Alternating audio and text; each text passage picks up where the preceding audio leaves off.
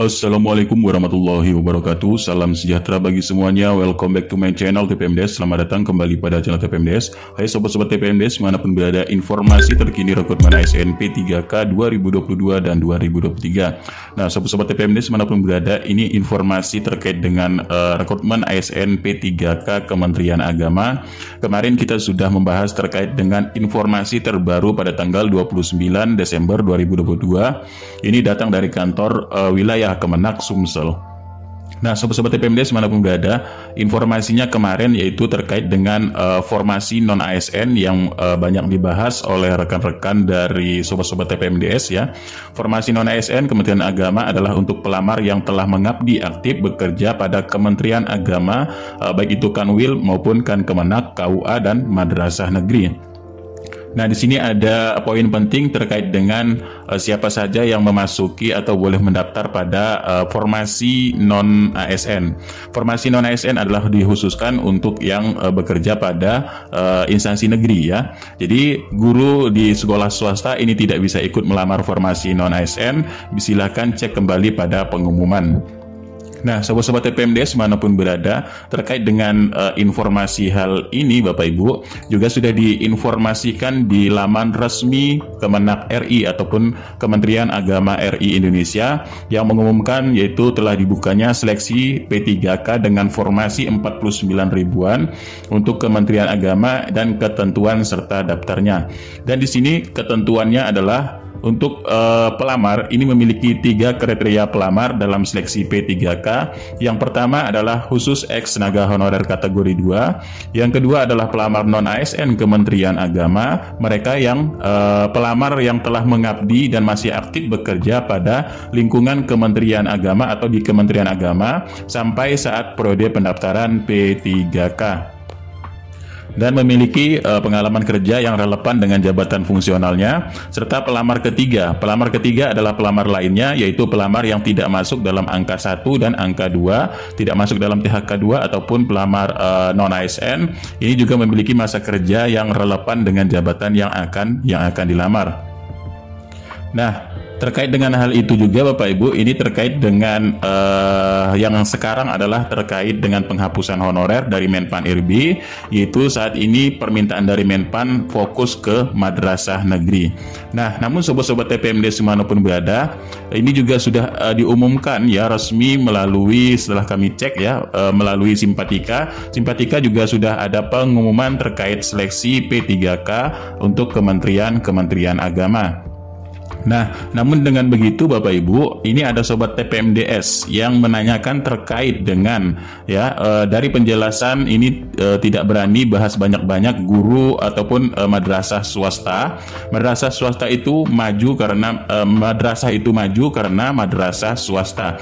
Ini artinya e, kontribusi dari madrasah swasta ini sangat besar sekali ya karena e, madrasah swasta lah yang e, membangun untuk e, berdirinya yaitu madrasah di di Indonesia uh, baik yang negeri ya maupun swasta karena kontribusinya di sini katanya lebih banyak yang madrasah swasta. Nah, kami lansir juga kami lihat dalam uh, jejak rekam jejak dari Kementerian Agama Kementerian Agama sudah menyusun KMA terkait dengan pengangkatan guru madrasah swasta. Ini uh, memang kita lihat di sini ya kata Kemenak di sini uh, madrasah swasta ini juga memang uh, sangat besar kontribusinya yaitu terhadap pendidikan di Kementerian Agama.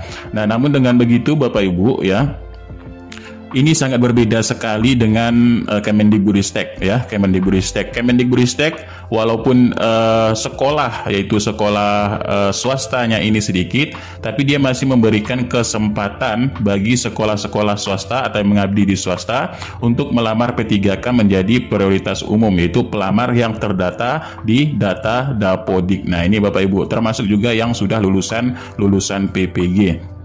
Nah, Selanjutnya di sini setelah kami cek yaitu pada uh, data dari Kementerian Agama Bapak Ibu pada emisnya ternyata Bapak Ibu memang benar sekali apa yang dikatakan oleh uh, sobat TPMDS tadi di sini ternyata untuk kontribusi sekolah swasta di madrasah ya ataupun di sekolah di bawah naungan Kementerian Agama ini memang sangat besar sekali berbeda dengan uh, sekolah negerinya.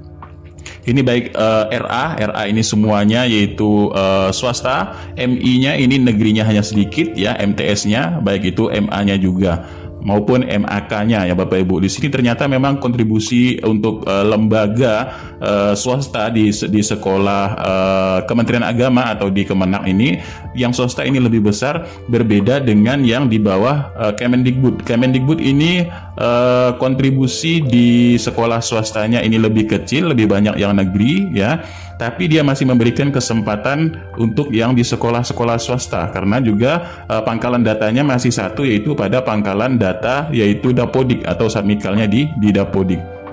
Nah, kenapa uh, Kemenak ini tidak membuka untuk uh, pelamar umum juga ya seperti uh, Kemen, ke, Kemenak eh, ke Kemendikbud ya tapi di sini hanya berfokus untuk yang sekolah negeri saja.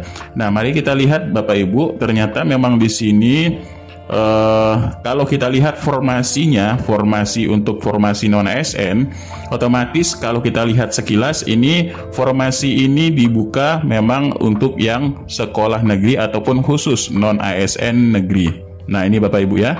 Jadi formasinya pun formasi formasi non ASN.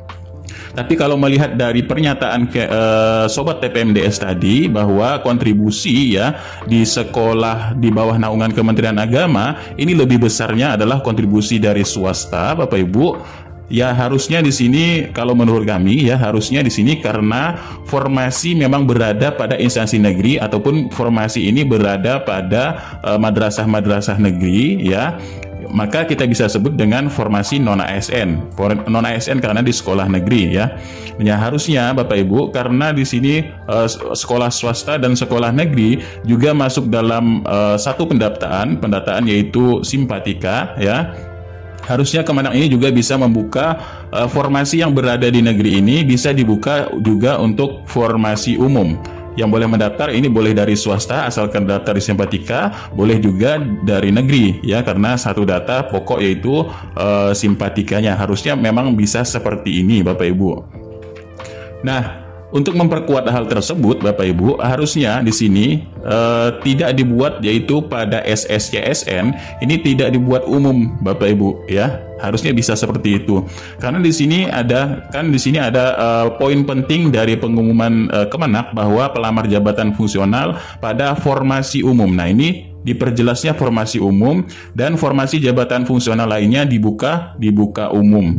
Harusnya di sini pada jenis formasi ya. Ini kan karena dia sinkron di sini jenis formasi umum ya, formasi umum. Nah, ini formasi umum. Harusnya di SSCSN-nya ini uh, jenis formasinya terbagi menjadi tiga Baik itu Bapak Ibu ini adalah THK 2 ataupun Bapak Ibu ini formasi non ASN khusus ya ataupun dia formasi umum. Tapi kalau kita lihat pada SSCSN ini tidak semuanya ini formasi umum. Mungkin yang dimaksud adalah formasi umum atau formasi disabilitas seperti itu. Tapi kalau melihat hal ini Bapak Ibu harusnya ya baik itu non ASN di sekolah negeri maupun di sekolah uh, swasta karena pengalaman kerjanya ini sangat relevan dan sama-sama terdaftar pada simpatika harusnya juga bisa mendaftar untuk uh, formasi non ASN ya yang dibuka untuk umum yaitu boleh dari swasta dan boleh dari boleh dari negeri harusnya bisa seperti ini.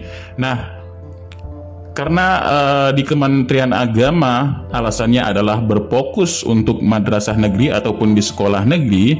Nah, jadi untuk tes seleksinya ini karena tes seleksinya menggunakan ya untuk CAT Kemenak ini menggunakan CAT ya, menggunakan CAT. Berbeda sekali dengan uh, Kemendikbud. Kalau Kemendikbud ini menggunakan observasi ya, menggunakan observasi tidak melakukan uh, tes ya tes seleksi CAT otomatis di sini kalau dari Kemendikbud ini uh, bisa bisa lolos ya bisa lolos semua asal uh, sudah memenuhi persyaratan namun kalau di Kemenak sendiri di sini masih menggunakan sistem CAT BKN dan ini pun seleksinya ada dua yaitu kompetensi dan tes moderasi. Nah, dengan tes seperti ini Bapak Ibu, kalau menurut kami ya, kemungkinan memang banyak yang tidak lulus ataupun memang tes ini adalah tes jenisnya formalitas saja.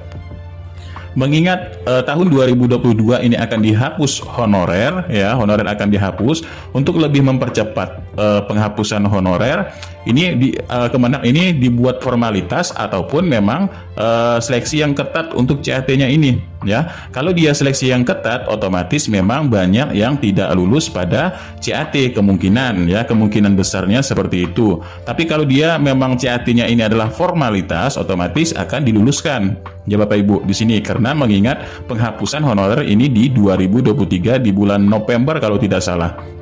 Nah, kalau dia memang uh, ketat untuk CAT uh, eh, UNBK ataupun CAT dari BKN-nya ini ketat dengan 60% bobot uh, kompetensi ya. Dengan uh, moderasi ini adalah 40% harusnya Bapak Ibu bisa mengakomodir untuk yang guru-guru honorer pada sekolah negeri dan pada honorer sekolah uh, swasta. Karena sama-sama pangkalan datanya adalah pada simpatika.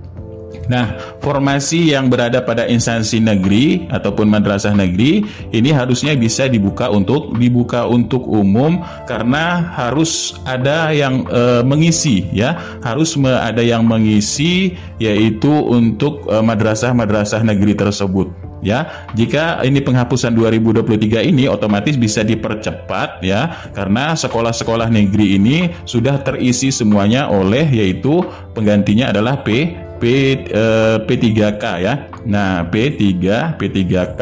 Nah, harusnya ini bisa dipercepat dengan skema bahwa eh, honorer swasta ini bisa eh, mendaftar juga pada formasi non ASN, formasi non ASN, formasi yang dibuka di negeri ya, bisa didaftar di, eh, oleh swasta dan eh, negeri. Harusnya bisa seperti itu. Nah, tapi dengan begitu mudah-mudahan uh, tetap semangat untuk semua uh, kalangan honorer atau baik itu negeri maupun swasta tetap semangat. Mudah-mudahan eh, kebijakan ini berubah sesuai dengan situasi dan kondisi di lapangan bahwa di lapangan ini Kementerian Agama kontribusi yang lebih besar adalah kontribusinya dari madrasah-madrasah swasta. Nah, uh, ini mudah-mudahan uh, bisa sedikit uh, mudah-mudahan bisa sedikit uh, mencerahkan ya untuk Kementerian Agama. Kami berharap uh, selalu mudah-mudahan dipermudah dan diberikan hal yang terbaik ya bagi Kementerian Agama dan bagi pendidikan Kementerian Agama. Nah, sekian terima kasih. Mudah-mudahan ini bermanfaat. Kurang lebihnya mohon maaf. Bila taufiq wal hidayah. Wassalamualaikum warahmatullahi wabarakatuh. Salam sejahtera bagi semuanya untuk sobat-sobat TPMDS mana pun berada.